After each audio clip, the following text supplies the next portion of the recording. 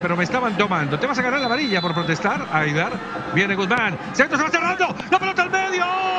Por poco olímpico. Por poco olímpico. Pero por poco olímpico con el revés del pie derecho. Por poco olímpico en un ángulo inverso. Estaríamos ante el más espectacular de los goles olímpicos. Por poco Guzmán con el revés de la derecha, comentadores, todo suya. Parte del empeine y parte del borde externo, ¿no? La fortuna para el conjunto de Equidad es que reaccionó a tiempo. Porque, mire, estaba en, otro momento especial Guasino Ortega. Hay un momento en el cual reacciona oportunamente, indudablemente,